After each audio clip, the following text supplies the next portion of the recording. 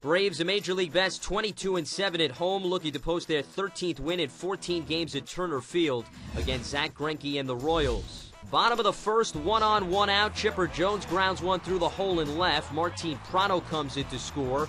Braves break open a scoreless affair, 1 0. Two batters later, Troy Glaus grounds one past the diving Greinke to short. Yuniesky Betancourt's throw off the mark. Jones scores. Braves pad the lead 2 0. Bottom of the fourth, Brian McCann adds an extra layer of cushion. And McCann touches one off. That one's going to go a long way.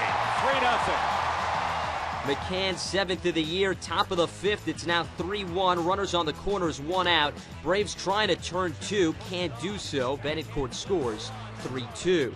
Top of the seventh, now 4 3. Runner on third, two out. Kendall lifts one to center, just drops in for a hit. Betancourt scores, and we are tied at four. Take another look. Gregor Blanco with a great effort, but you can clearly see it bounces before it goes into his glove. Later in the frame, two on, two out, Peter Moylan gets Billy Butler to ground it to the fielder's choice to third. Top of the eighth, runner on third, two out, Jonny Venters gets Betancourt swinging to escape. Then in the bottom of the frame, Braves with the go-ahead run on third, but McCann can't deliver, lines out to center. Bottom of the ninth, Robinson Tejeda on the mound, Troy Glaus leading off.